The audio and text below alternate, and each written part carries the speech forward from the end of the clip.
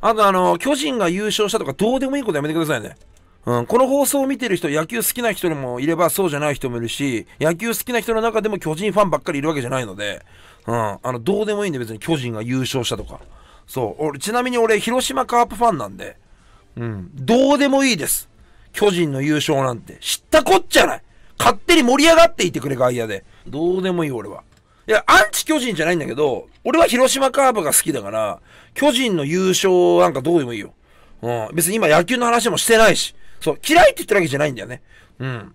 あのー、なんか巨人が優勝したこと当たり前のように書き込んでくるバカジャイアンツファンが嫌いなんですよ。そうでしょ今例えば俺が、えー、今日巨人優勝したねって言えば別に書いてもいいと思うけど、鳥取県の名産の話とかをしているのに、なんでスポーツの、しかも野球の巨人優勝した話をぶっ込んでくるかわかんないですよ。そういうなんか当たり前のように言ってもいいと思ってるバカジャイアンツファンが嫌いなんだよ。坂尾とも同じ理由で嫌いなんだよ。そう、マジで空気読めてないんですよね。うん。マジ、ネフです、ネフ。あの、人と一緒に会話することができない。今会話してる内容になんで合わせないの？なんで今会話してる内容をぶった切って自分の会話をぶっ込んでこようとすんの？そんな奴はね、あの、お茶会にも食事会にも呼ばれないよ。お前がおごりでも俺は行かないわ。そんな奴。面白くもなんともないから。人の話一切聞かないで自分の話ばっかするんだろ、そういうの。ね、絶対行かない。な。巨人優勝おめでとうございます。はい。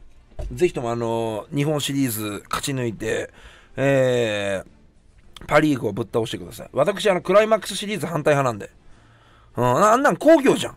そう。要するに、あの、クライマックスシリーズをすることで最後まで分かりません予感を出して、あの、工業収入を得ようとしてるという。そう。ただ単にやっぱりその野球の人気も落ちてきてるじゃん。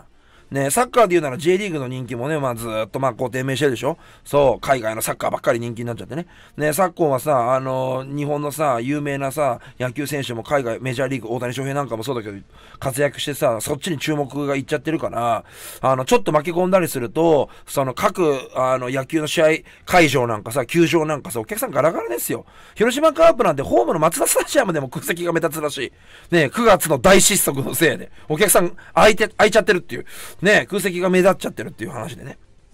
なので、何としても、飯食っていかなきゃいけないから、多分 CS クライマックスシリーズを、持ってしてですね、ギリギリまで金を稼ごうとしてるけど、別に1位だけでよくない？うん。だってそれ何のためのさ、あの、シーズンなの ?3 位に入ればいいじゃんってなっちゃうじゃん。まあもちろんさ、あの、ありますよ。ね。1位は1位の特権。ね、ありますけれども、けど、なんか、あの、シリーズの価値がなって思っちゃって。じゃあ2位でいいじゃん、3位でいいじゃんってなっちゃうし。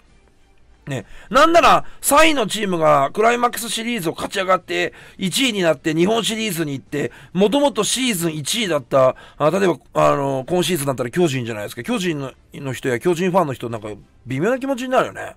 うん。なんで別に普通に巨人行けばいいんじゃないのと思うし、普通に巨人強いし、うん、俺、広島カープのファンだけど、やっぱりこの夏から秋にかけての終盤の底力の差が出たなと思って、まあ、広島はバテたな、バッター打てなくて、ピッチャーでなんとかがんとか切り盛りしてきたけど、そのピッチャーもやはり後半はバテちゃうから打たれちゃうと。打たれちゃっても打てないから、それは負けるわなということで、9月なんてもう、まあ、あまりにも負けすぎだけど、まあ、仕方がない結果ですよね。まあ、新井監督は、まあ、よく踏ん張ったのかなと個人的には思っておりますが、やっぱそういったところは、あの、名称の岡田監督の阪神だとか、えー、やっぱりあの、選手力ですよね。ねあの、チーム力の高い、えー、ベースの高い巨人にはやはりね、広島かなわないところがあったのかなっていうところで、まあこうなるのは見えていたね。うん、9月まで、まあ9月よく首位を立っていたのかなと俺は思ってますんで、まあ俺は普通に巨人行ったらいいんじゃないのって思ってますけどね。いや、一応だって書かれたから話題にしてんだよ。だから決して俺は、あの、巨人嫌いじゃないですよ。っていうか、普通にパリーグ倒してほしい。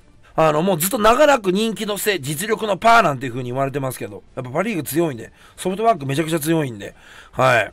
まあ、ぜひね、倒してほしいなと思うんですけど、まあ、多分阪神との一騎打ちだと思いますけどもね。なんか、あのー、復帰するまで、岡田監督ってクライマックスシリーズの経験なかったのに、やりおるんですよね。短期決戦ね。さあ、初めての安倍監督。